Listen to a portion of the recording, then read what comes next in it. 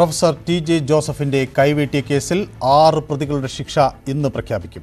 കുറ്റകൃത്യത്തിൽ നേരിട്ട് പങ്കെടുത്ത രണ്ടാം പ്രതി സജിൽ മൂന്നാം പ്രതി നാസർ അഞ്ചാം പ്രതി നജീബ് എന്നിവർക്കെതിരെ ഭീകരപ്രവർത്തനം ഉൾപ്പെടെ ചുമത്തിയ എല്ലാ കുറ്റങ്ങളും തെളിഞ്ഞതായി കോടതി ഇന്നലെ വ്യക്തമാക്കിയിരുന്നു.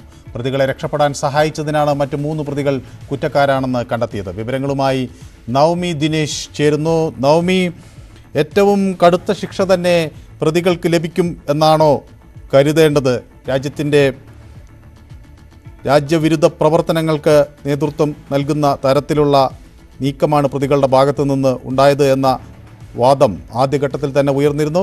എന്ത് എങ്ങനെ കാണുന്നു ഈ ശിക്ഷാവിധിയെ?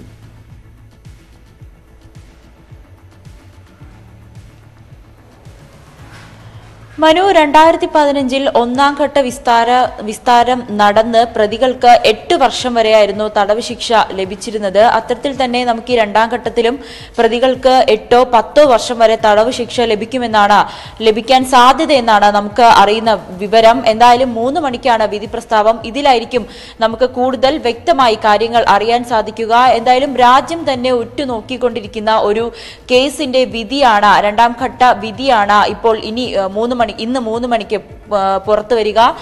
ഒപ്പം തന്നെ ഇന്നലെ നമ്മൾ ടി ജെ ജോസഫിനോട് സംസാരിച്ചിരുന്നു. അദ്ദേഹം പറഞ്ഞ ഒരു പ്രധാനപ്പെട്ട കാര്യം ഇപ്പോഴും ഒന്നാം പ്രതിയായ സവ സജാദ് ഇപ്പോഴും ഒളിവിൽ തല്ലിയ ഒളിവിൽ തന്നെയാണ്. പ്രധാന പ്രതികൾ ഇതിന് ഗൂഢാലോചന നടത്തി അല്ലെങ്കിൽ ഇത് ആസൂത്രണം ചെയ്ത പ്രതികൾ എല്ലാവരും ഇപ്പോഴും നിയമത്തിന് മുന്നിൽ കൊണ്ടുവന്നിട്ടില്ല. അവരെല്ലാം ഒളിവിലാണ്. അത്തരത്തിൽ പോകുമ്പോൾ ഈ പിടിക്കപ്പെട്ട പ്രതികളും തന്നെ പോലെ ഇരകളാണ്. തനിക്ക് യാതൊരുവിധ ഭയവുമില്ല പോരാളിയാണ് താൻ. പോരാടുന്നവർക്ക് ജീവിതത്തിൽ ഒരുപാട് നഷ്ടങ്ങൾ ഉണ്ടാകും അത്തരത്തിൽ താനും ഒരു നഷ്ടത്തിന്റെ ഇരയാണ്. അതുകൊണ്ട് തന്നെ ഈ- ഒരു വിധി ഇനി വരുമ്പോൾ ഏറെ ആകാംക്ഷയോടെയാണ് ടി ജെ ജോസഫും കാത്തിരിക്കുന്നത്. എന്തായാലും രണ്ടായിരത്തി പത്ത് ജൂലൈ നാലിനായിരുന്നു പുലർച്ചെ പള്ളി കഴിഞ്ഞ് വീട്ടിലേക്ക് വരുന്ന വഴി ടി ജെ ജോസഫും ഒപ്പം കന്യാസ്ത്രീ സഹോദരി കന്യാസ്ത്രീയാണ് അവരുണ്ടായിരുന്നു.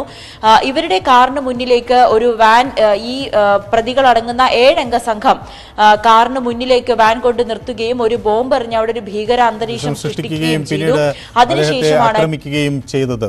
ഏതായാലും കനത്ത ശിക്ഷ പ്രതികൾക്ക് ലഭിക്കും എന്ന് തന്നെ പ്രതീക്ഷിക്കാം.